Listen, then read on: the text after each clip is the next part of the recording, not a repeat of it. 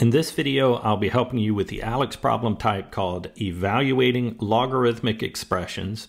We have two logs here to evaluate, and the way that I like to think of logarithms is that they are questions.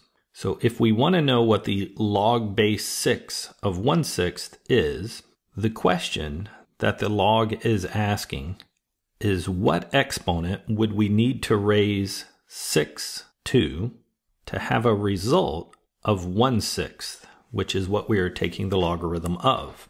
So the base of the logarithm, 6, needs to be raised to what power to get the result of what we're taking the logarithm of, 1 sixth.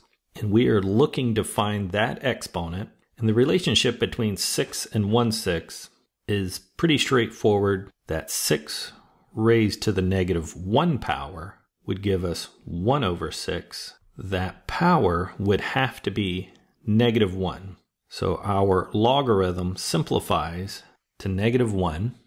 Using the same approach to b, log base 4 of 64 is asking a question of what power do I need to raise 4 to, since 4 is the base, to get what I am taking the log of, which is 64. So the logarithm is looking for the exponent what power would I raise 4 to to get 64?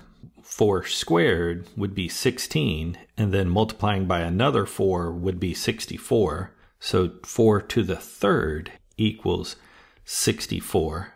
Our logarithm is equal to the exponent, which here is 3.